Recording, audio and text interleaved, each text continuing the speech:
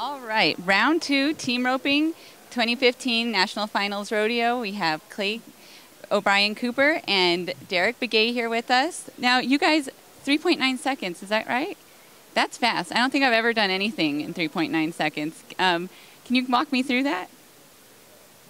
Well, Derrick's fast. I mean, that's one of his many talents is that he can get it out of his hand fast and set the run up fast. So it was pretty much all him tonight. I just caught the steer after he did.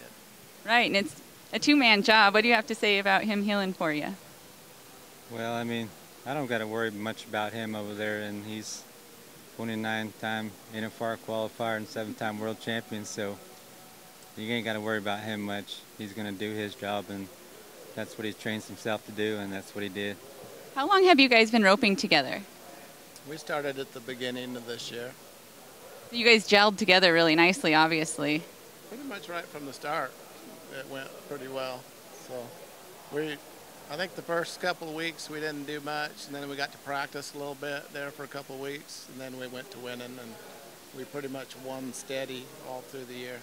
Right, and you've been hauling together all year how is Las Vegas different aside from it being the national finals? How is this arena different and the energy different here than other rodeos? It's something you can't duplicate. I mean, you can practice all you want at home to try to get the feel here and get the situ- get the situations you get yourself into, and there ain't nothing like it. And so it's so you really can't practice for it. But I think what helps us a lot is that we've been here. So when we do get here, we know what it kind of takes and how it really feels. So I think that's what kind of helps us a lot too. Right. And aside from winning money and buckles, what else do you guys like to do when you're here in Las Vegas?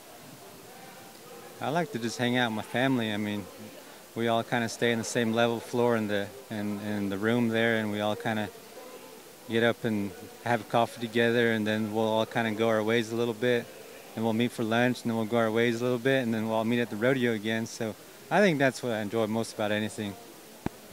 How about you, How about you Clay? You know, it seems like they have us pretty busy through the whole work uh, week with our sponsors doing signings at the different trade shows and stuff. So it seems like it's nonstop for uh, two weeks. It's just go, go, go.